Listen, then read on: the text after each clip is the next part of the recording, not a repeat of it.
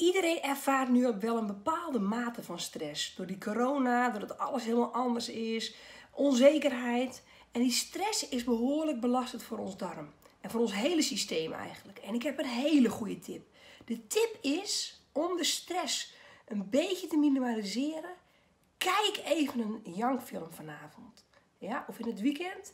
Want als je lekker gaat huilen, dan verlies je via je tranen ontzettend veel cortisol. Ja? Daarom moeten die kraamvrouwen ook altijd even een paar keer flink huilen in die kraamtijd. Want de cortisol spiegelt sky high is in die tijd. Dus tip, je tranen, daar verlies je veel cortisol mee. Dus zorg er eens even voor dat je even lekker gaat janken. Moet je eens opletten hoe je je daarna voelt. Het gaat helpen. Ik weet het zeker. Veel plezier met kijken.